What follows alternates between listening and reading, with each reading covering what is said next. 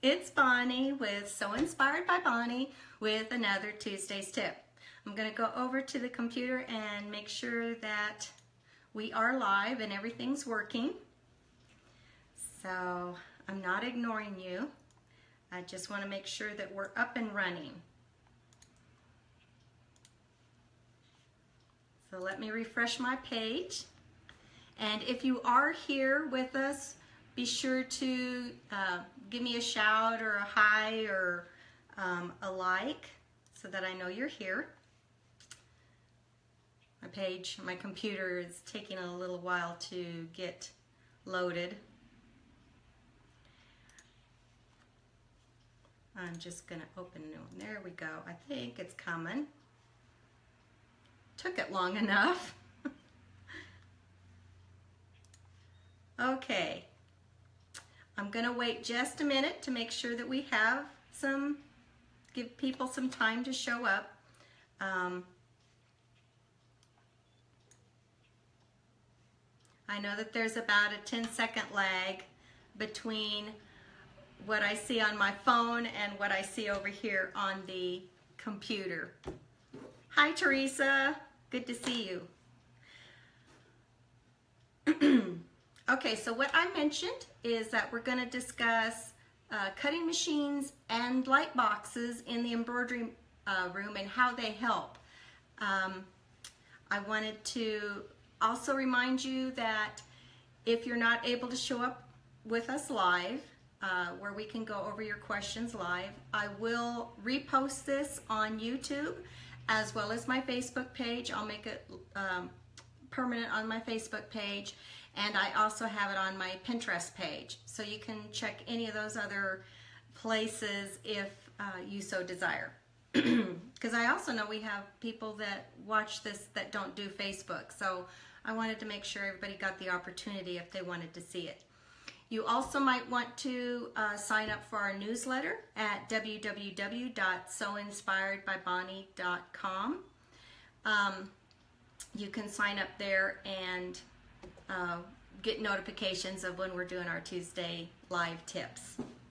Okay, looks like we have, obviously I'm not at my own home and I forgot to turn off their phones, but we'll let that pass and then we'll get started. I see Sandy is here, I see Anna is here, and Teresa. So we're gonna go ahead and get started and discuss cutting machines and light boxes and how they help us in the embroidery room. Uh, a little history I wanted to go over.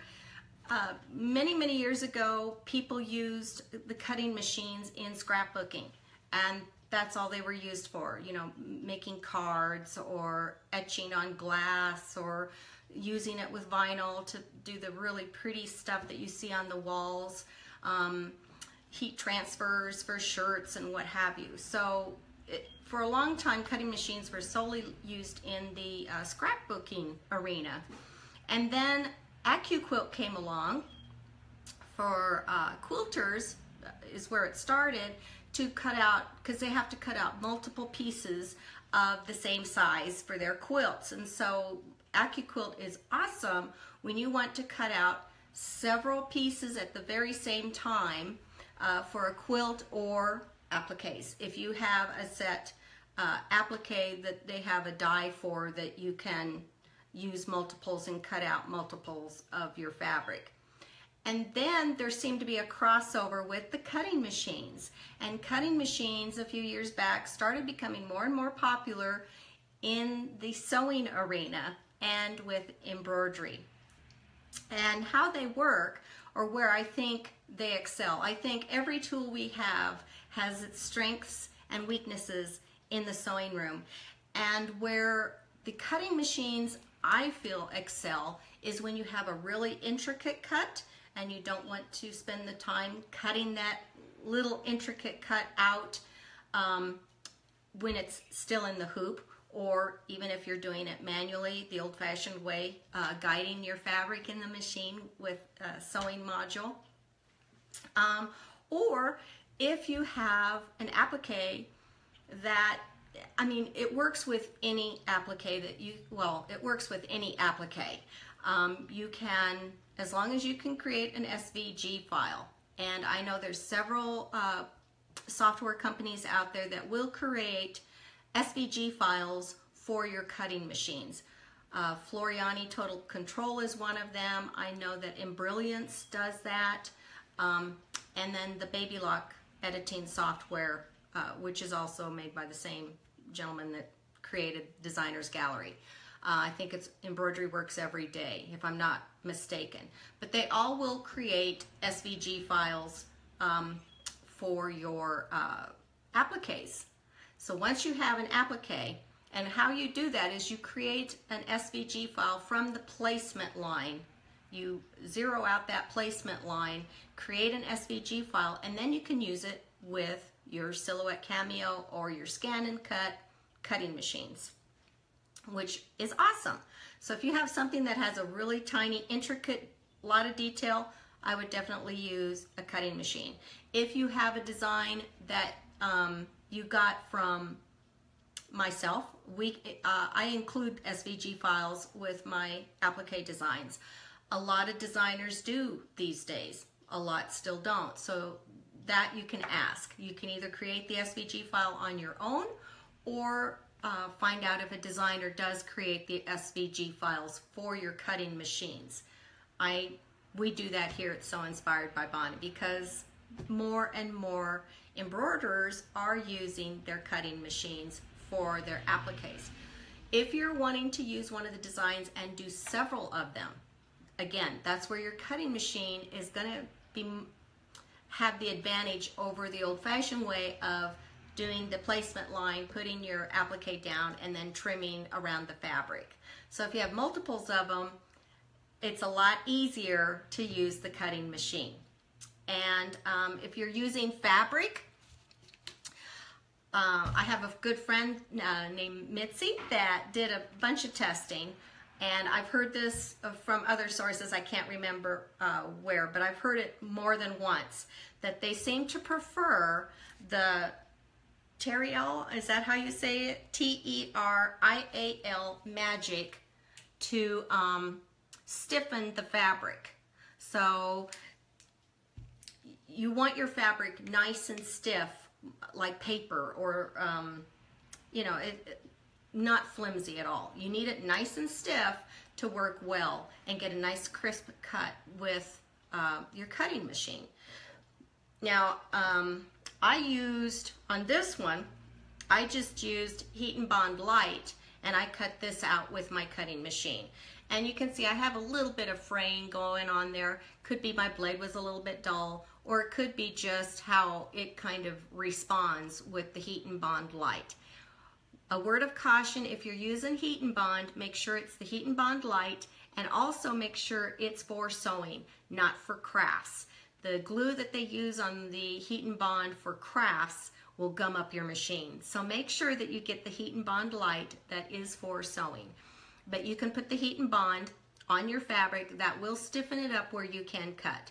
But I've heard from more than one source, I haven't tried it yet. I'm uh, ashamed to admit I had the bottle, but I haven't tried it yet. But I've heard from many, uh, two or three sources, I can't say many, but two or three sources that seem to prefer the Terial Magic uh, to stiffen up the fabric. And you just spray it on, let it dry. I imagine you could use your hair dryer if you wanted to speed up that drying process and get your fabric nice and stiff before you use it on your cutting machine. Okay, so how does this we've kind of gone over um, how the pros and cons of using a cutting machine over an AccuQuilt. AccuQuilt is great, but they have limited dies, and quite frankly, the dies are kind of expensive. Um, the Silhouette Cameo or your scan and cut machines are going to be great if you have multiples of the same fabric. Uh, even, if, even if you don't have multiples of the same color fabric, you can cut out, say, four by four squares, uh, position them appropriately on your grid and then line that up with the grid that's on your computer screen. Very easy to do in the Silhouette. You can also use your scanner on your scan and cut. Very easy to do if you're using different colors of fabric. But if you're using the same design, gosh, it's so quick and easy to just pop them up there. Or if you're doing multiples, again, you can put up the different blocks of your fabrics on the grid and align up the different um, designs, merge your designs on your screen, and you can cut those all out at the same time so that you have your pieces ready to go at the embroidery machine. Okay, so how does a light box fit into all of this? Well, my friend Holly Pike was doing a um, show and tell of her brand new beautiful sewing studio and she mentioned a light box and using that with her embroideries. And I thought you know that's so clever. I just have to share that with you guys. So I went out and I, I had to get a new light box because I'm like the rest of you. I'm just I've got to have every tool in the shed. Um, so let me move this to the side. Uh, um, we've been using light boxes in the sewing room for years. And we've been using it for years with appliques in the old days, we would use the light box to shine light from beneath so that we could hand trace out um, an applique and then, you know, stitch it out. Or we'd bring the applique pieces back on top of our light box uh, so that we could align the pieces and make sure that we did have the head on top of the body or, you know, just had the pieces in the right place. So let me move this aside and show you this awesome light box. Um, I have no affiliation. I just, saw, like I said, I was watching Holly show her beautiful sewing room and she showed a light box. Now I did get the big size of this one, um, but it comes in several sizes. This is really a very, can you see that? See how thin this light box is? It's almost it's almost as thin. Well, I would say it is about as thin as, or more so, as my um, Surface Pro uh, tablet computer. It's really super thin. And what you can do is, um, it has three levels of light. Excuse me, I'm going to take a drink of water.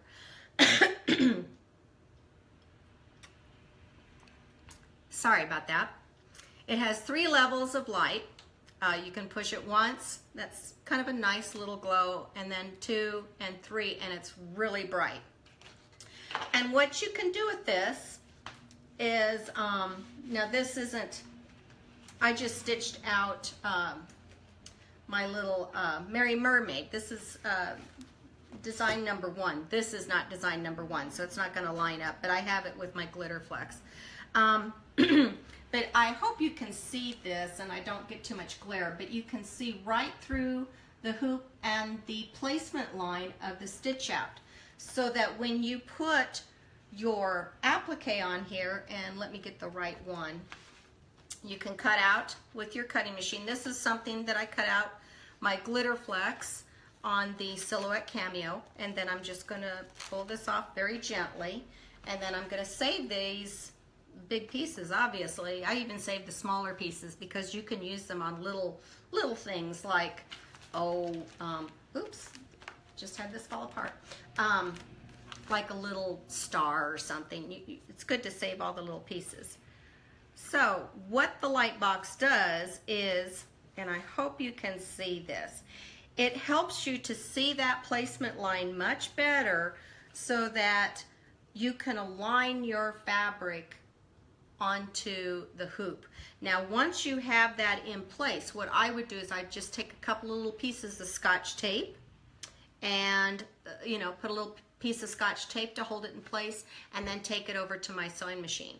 But the act or excuse me, the uh, cutting machines cut very close and tight to your placement lines.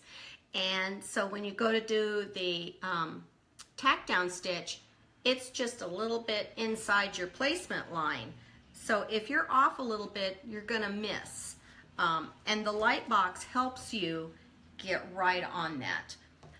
So then I would, again, put a couple little pieces of scotch tape, take it on over to my sewing machine and tack it down with the tack down stitch. Again, this isn't the correct applique piece for my design, but you can see even on the fabric, I hope you can see it, you can see through the placement line with your light box. So it kind of makes it a little bit easier um, to do that. Once you've got the tack down stitch done, Then if you're using the, um, let me turn this off. If you're using the glitter flex, once you've got that tacked down, you can take it over to uh, your ironing surface, and I like to use a uh, Sew Betty because they're nice and firm, and then you can press it in place. Do not press on your light box. that would be a disaster. I think it melted out. So that's it. Uh, today's tip on you know how to use the cutting machines, where they have advantages versus uh, you know trimming by hand, and also um, your light boxes come in handy to help you with the placement. And this is the finished stitch out. I hope you can see her of this little Merry Mermaid. Okay, and the stitch out for the little green one I had is, see if I have the right one. Well, I'm not finding her right now, but that might be her. No, that's not her. Oh, it's this one, number four. And this is the one. And you can use fabric uh, with our applique designs, our that I've used Glitter Flex with. You would just use the fabric in the applique as you ordinary er, as you ordinarily would uh, any other applique design. It's just I happen to use the Glitter Flex because I like the extra pop and sparkle. So I'm going to go to the computer and I'm going to see if we have any questions. I think it was pretty straightforward and um, an easy little tip today.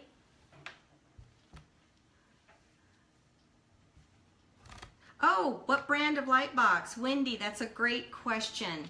Let me unplug it. I can't pronounce it. I think it's, I think it is called AGPtek.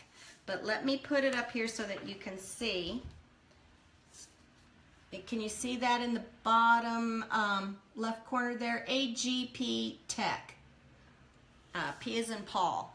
And I just did a, uh, a search on Amazon for it, and it comes in several different sizes. Um, this one ran about $50, but there was another one that was a really good size one, I thought, for the $20 range. Um, and the thing I liked about it was that it was so thin and it wouldn't take up a whole lot of space, even though I got the big size. It wouldn't take up a whole lot of space in my sewing room.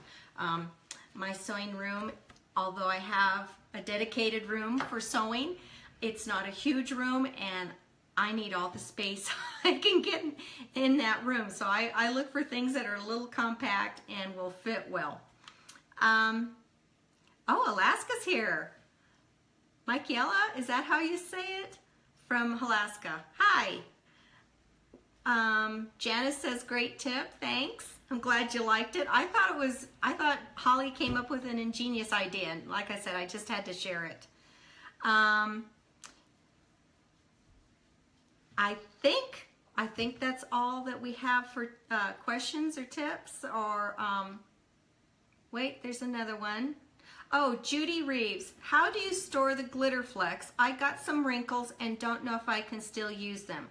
I think you still can use it even if you've got some wrinkles. What I would suggest is to um, get a uh, Teflon sheet and um, you could do one of two things. You can either just try to lay it down flat, put some heavy books on it, and let it sit for a while and see if some of those wrinkles don't come out. It kind of depends on how bad the wrinkles are.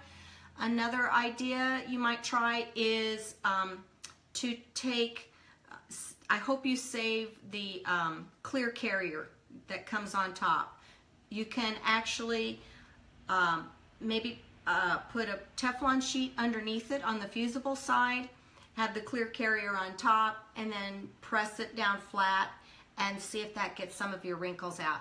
Once you pull it off of the clear carrier, you should be able to lay it down flat on your fabric and fuse it as you normally would and those wrinkles should should come right out. Depend again, I'd almost have to see how bad the wrinkles were, but you should still be able to use it. How I like to store it, if I have the 10 by 12 sheets that we sell, I like to store those in a craft uh, box. Um, they come from, I get mine from Hobby Lobby. They're the clear uh, craft boxes that are 12 by 12 and I just lay them flat in there. If I get the 10 by 18 size, um, you can keep those rolled. Um, most people keep their uh, vinyl rolled. Um, that works as well. When I have scraps, uh, little scraps like this, will go in my scrap box of the 10 by 12 you know box. And I might have a sheet because I do have since I sell it I have a lot of it. I'll have my scrap box and then I'll have my you know sheets that are are uh, haven't been used up. And I go to my scrap box first and use what I can out of there. And if I don't have a scrap big enough then I'll go to my bigger sheets. So I hope that answers your questions on on the glitter flex. Um, Pamela has a question. Oh, she mentioned to Kathy that the Glitter Flex is a fabulous glitter vinyl. Yes, it is. Glitter Flex is a wonderful glitter vinyl. And we sell over, um, a little plug here, we sell uh, 55 colors of Glitter Flex, maybe slightly more, but we have uh, one of the best stocks of Glitter Flex out there on the market if not the best. I might be partial. uh, B has a statement here. She said, My light box is old and much thicker than yours, although about the same size otherwise. I have used it for many years, but since I love yours so much, I might have to go get another one. Boy, I know the feeling, B. This one, I was so impressed when I saw Holly's. Um, I think hers was a little bit smaller. Again, I didn't need to go this big, but I thought, you know, I'd rather have one a little bit bigger so that if I do have a project where it's bigger than my hoop and I'm doing it by hand, I can still see it. Um, but it's really thin and so easy to so easy to store. I think I can, you know, keep it in its box if I need to but it's really thin, so it's not going to take a lot of space, which I love. Um, again, I got it off of Amazon, and since I used Amazon Prime, I didn't have to pay shipping. So it was cool.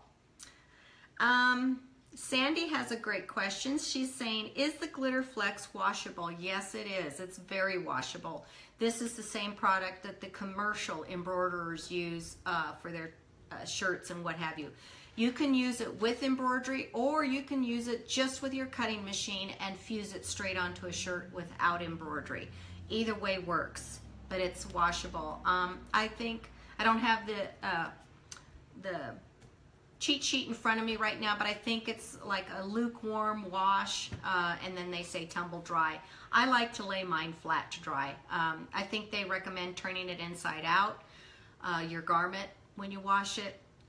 I just had a little test sew, so there was no way to turn it inside out, and I threw it in the wash six times just to see how well it did when I was doing my testing before I started to even sell the product.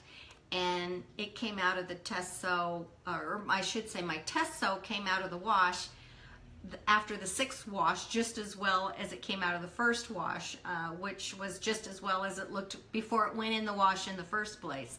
So yeah, it, it washes really well. And I threw it in the dryer with that. I tried to abuse it a little bit to see how it would do. I did have to iron it, um, uh, but that was about it. it. It held up. I did just have to iron it. You do just want to make sure that you get it fused properly and it'll be fine. Um, I think that should do it for today. Uh, next Tuesday, we'll have another Tuesday's tip, and I hope you will come back. And again, sign up for our newsletter uh, so you'll get notifications of the tips. We also, uh, when you sign up, uh, send out a couple of freebie designs. And uh, periodically, I'll send out a free design just as a, a thank you. And it has our uh, special sale offerings in our uh, newsletters as well as um, our new releases. So if you want to stay up to date with what we're doing, um, that's one of the better ways to do it. Um, I think, let's see, Pamela says that I always, this is a good point. Pamela says that I always iron on the reverse side after the original fusing. Um, I think that's a good idea, Pamela, because you're getting heat distributed on both sides of it. And I always like to iron my embroideries on the back side when I'm done fusing as well, just to protect the threads of my embroidery so they don't get flattened out. Uh, so I think that's an excellent suggestion. Uh, Sue asks a really good question. She said, all the vinyl, is all the vinyl on the website Glitterflex? Yes, all my vinyl that I sell is Glitterflex. Um, that's my specialty.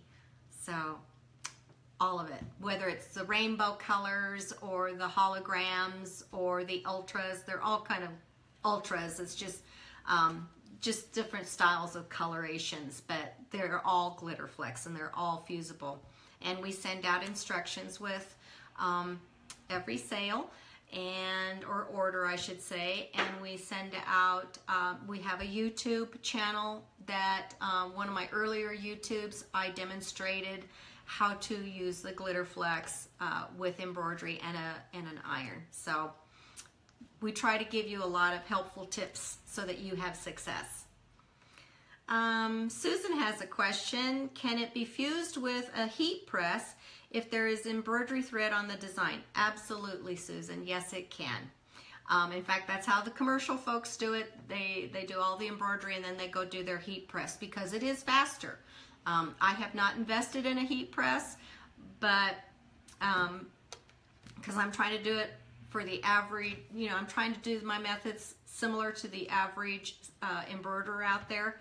Uh, but uh, on a heat press, you want to have your temperature, I believe it's 330 to 350 degrees. I, I think it's 330 though, um, degrees for 17 to 20 seconds. And that will work great. Uh, Pamela said, is there a solid color without glitter and what is it called? Pamela, all of our ultras are solid color. So the first mm, 30 or so colors on our website page. I would guess it's all those first colors are solid. So it's like a solid red or a solid green or black. Um, uh, unless it says two names in it like black gold, then that's going to be black with gold. Um, but all of the ultras other than black gold that comes to mind off the top of my head are solid colors. If you have a question, just email me. Um, you know, if you're not sure, because I know every monitor will show the colors a little bit differently, as well as every telephone, because all our graphic cards are a little different. So if you have a question about a color, just email me and I'll be more than happy to answer your question and, help, help guide you to the correct color that you're looking for. Um, the rainbows are going to be a little bit more different colors. Um, blended in there, I would say, as will the holograms, kind of like a hologram that you're looking through. They have show different colorations, but the ultras are going to be your solid colors. Um, Pamela also asks, is there a solid color without glitter?